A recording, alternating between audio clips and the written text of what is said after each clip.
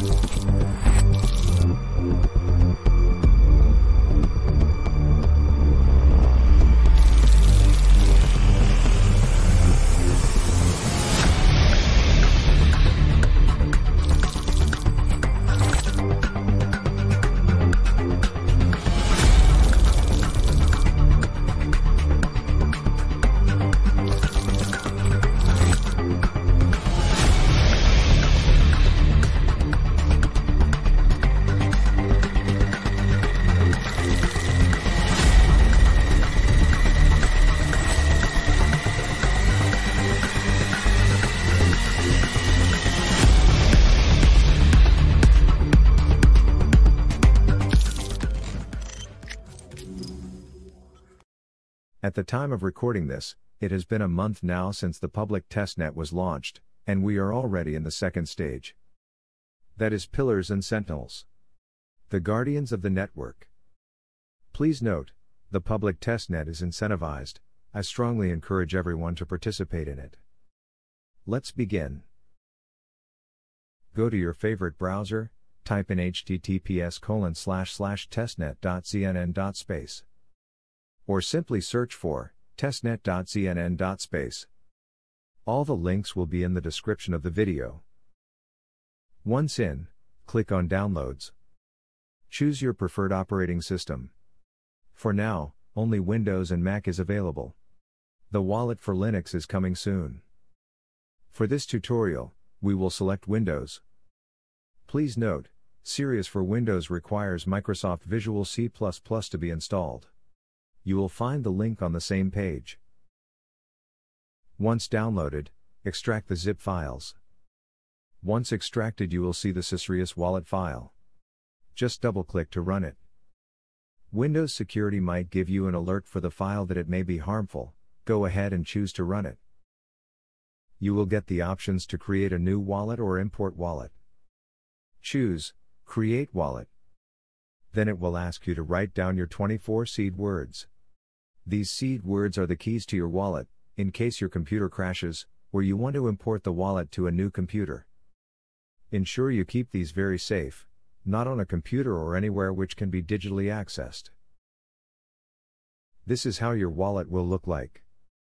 Once again, please be reminded this is the testnet. Do not send or ask someone to send Zenon coins to this wallet.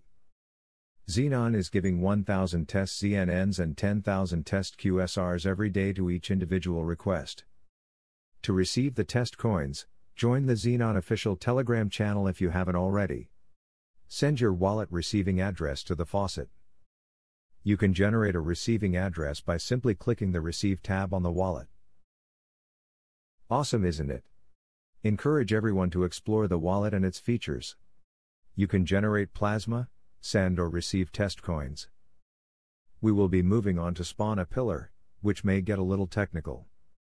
But I will guide you step by step on how to successfully launch a pillar with your test coins. You can also stake them or spawn a sentinel, but as of now, only pillars are generating momentum. Only 24 pillars have been registered at the time of this recording and there's room for a lot more. So why not test it? You never know what kind of incentivization is planned by Zenon. You will need a VPS, virtual private server account. 15,000 ZNNs and 400,000 QSRs. The QSR requirements keep on increasing as days pass by. So get your friends to pool in if you don't have that amount. Let's begin. First, let's sign up to a VPS. I personally use UpCloud. It is reasonably priced and has a 99.9% uptime. Fill in the required details for signing up. In the promo code tab, type ALU25, this will give you free $25 for the free trial. The free trial is for 72 hours, I suggest manually top up a $10 payment. That's if you plan to run the server for more than 72 hours. After the top up, the account balance should be $35. And then click on Deploy Server. Once deployed, choose your server. I chose Singapore for this tutorial. As their 24 7 free customer service and technical support is something I am very happy with. Next, choose your package. We will choose the $80 package, which gives you 6 cores processor and 16 GB RAM. Next, choose the operating system. We will choose Ubuntu 20.4 LTS. Scroll down to the bottom, fill in the description if you want to, it is not mandatory. And then click Deploy. Once deployed, you will get an email with your username and password. You can also see them in the notifications. OK, next open the PowerShell app. It may be very new to you, but believe it or not, I had never used it until two weeks ago. Once you get the hang of it, it is very easy and interesting. When my wife saw me using it, she told me that I look like an IT geek. Anyhow, let's move on. Please note, every space, every caps matter. So copy and paste it as is. There will be a list of all the commands in the description of the YouTube video. Type SSH, space, root, or the username provided by the VPS provider. Followed by at the rate sign, followed by the IP address. Which will be on the home page of UpCloud. Press enter. It will ask you for your password. Enter the password that was emailed to you by UpCloud. Or check notification on the UpCloud home page. The first thing we will do is change your password, for security reasons. Once logged in into the server, type in PASSWD, it will prompt you to key in the new password. Next, we will update, upgrade and install the NTP which is the Network Time Protocol service. It is very straightforward. Type in apt update, with space in between. It will run and install the updates for Ubuntu. Followed by apt upgrade and then type or paste apt get install NTP. It will install the NTP service. Restart the server once it is done. You can do that from the home page of UpCloud. Let's move on. Log in again with SSH user ID and password. Copy and paste the following. All the links to paste will be in the description below. You can also type it, just ensure you observe the space and caps lock. The next few steps are very important. Follow the commands. Press enter after every command. 1. apt install zip. 2. wget colon slash slash testnet dot znn dot space slash download slash znn hyphen testnet hyphen bundle hyphen linux hyphen m64 3 unzip znn testnet bundle linux hyphen, m64.zip. 4. chmod, plus x, znnd. 5. chmod, plus x, znn hyphen, cli. 6. chmod, plus x, znn hyphen, deployer. 7. ls space, hyphen la. Once you key in LS hyphen, LA, you should see ZNND, ZNNCLI, and ZNN deployer in green. Next paste or key in dot, ZNN-CLI, enable RPC. And then, dot, ZNN-deployer. You will get a list of options. Choose number 4, which is, configure unregistered pillar. Click enter. This will generate a public address and password. Copy this address. Now go back to Syrius Wallet, select Spawn Pillar, deposit the required QSR and ZNNs. Name your pillar.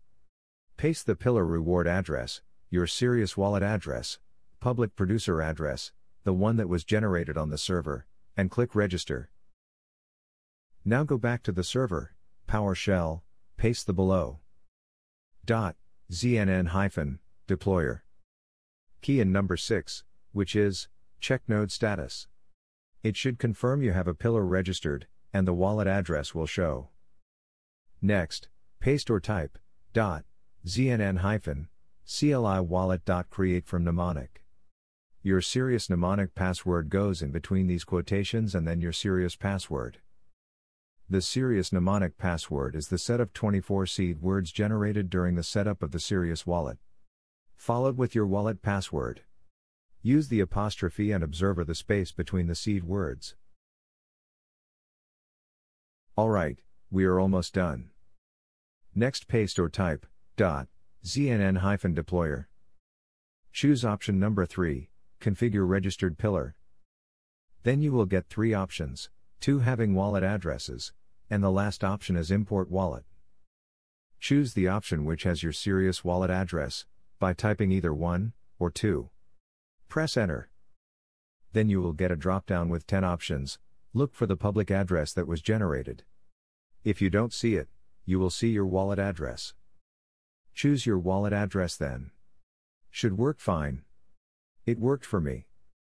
Last step paste or type dot znn-cli start znnd. In a couple of minutes, you should be generating rewards. To check if it's generating momentum rewards, you can paste or type in dot znn-cli pillar.list. You can see on the screen the pillar is successfully registered and generating rewards. You can also go the Explorer and check at explorer.znn.space-pillars. If in 5 to 10 minutes, rewards are not generating. Type in or paste, dot slash znn hyphen cli resync and check again. Please note Zenon has not officially given a guide on how to deploy a pillar yet. However, this has worked for me. Apu's initial guide was very helpful, Dumeril helped me a lot in understanding and using the commands. He is a great tutor, very helpful, and patient.